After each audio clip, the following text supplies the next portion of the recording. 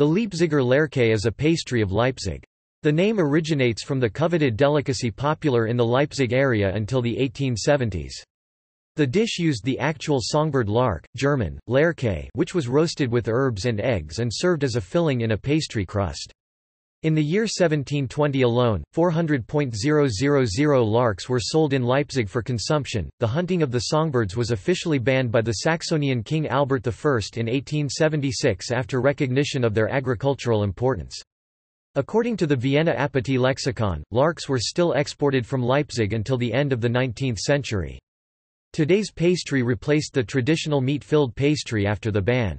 The local pastry chefs are credited for helping to preserve the larks by creating the new, sweet version of Leipziger Lerche shortly after the hunting ban was imposed. Today's version consists of a short crust filled with a mixture of crushed almonds, nuts, and a cherry. The cherry symbolizes the heart of the bird.